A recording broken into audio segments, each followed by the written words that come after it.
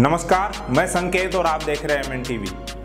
केंद्र की मोदी सरकार द्वारा लाए गए इलेक्ट्रॉल बॉन्ड योजना की कठोर आलोचना करते हुए पूर्व मुख्य चुनाव आयुक्त एस वाई कुरेशी ने कहा कि इलेक्ट्रॉल बॉन्ड योजना क्रोनी कैपिटलिज्म, यानी सांठ गांठ वाले पूंजीवाद को कानूनी और वैध बना दिया है।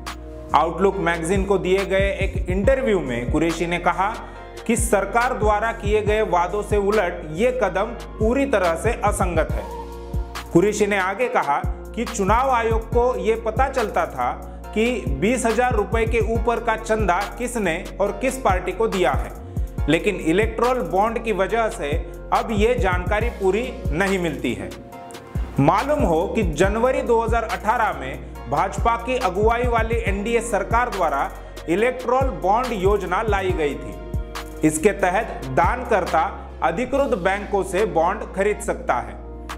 ये बॉन्ड 15 दिनों के लिए वैध होते हैं और पात्र राजनीतिक दल इस अवधि में किसी अधिकृत बैंक खाते के ज़रिए इन्हें भुना सकता है।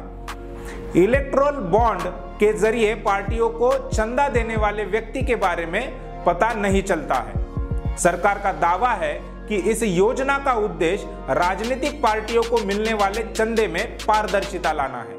हालाँकि चुनाव आयोग और कई पूर्व चुनाव आयुक्तों ने इलेक्टोरल बॉन्ड की कड़ी आलोचना की है।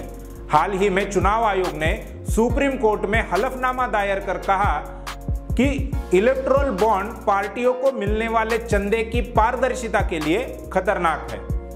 सूचना के अधिकार, यानी आरटीआई के तहत मांगी गई जानकारी से पता चला है कि इलेक्ट्रोल बॉन्ड की बिक्री पिछले साल की तुलना में करीब बासठ प्रतिशत बढ़ गई है।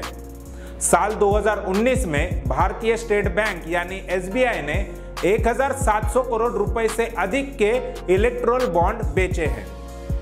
इससे पहले साल, यानी 2018 में मार्च, अप्रैल, मई, जुलाई, अक्टूबर और नवंबर के माह में एक करोड़ के बॉन्ड बेचे गए थे।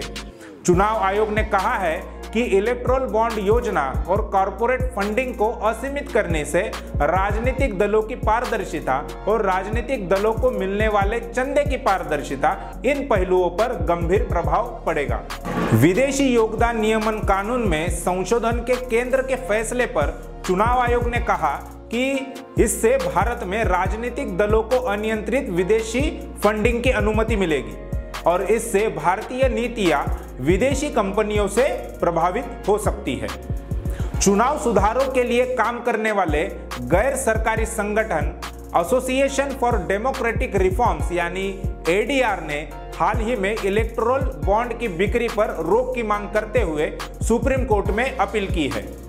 मार्क्सवादी कम्युनिस्ट पार्टी ने एक अलग याचिका में इसे शीर्ष अदालत में चुनौती दी है।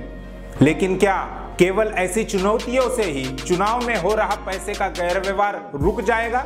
या चुनाव आयोग इसे रोकने के लिए कोई ठोस कदम भी उठाएगा?